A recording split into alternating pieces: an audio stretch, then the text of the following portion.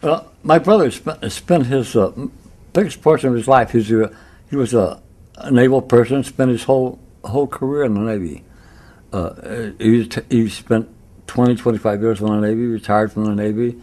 Uh, he lived on ships most of this, this time, uh, and these ships were probably heavy laden with asbestos, covering uh, plumbing and things in these ships, which if you've ever been on a ship, you find these bunks, sleeping quarters in ships.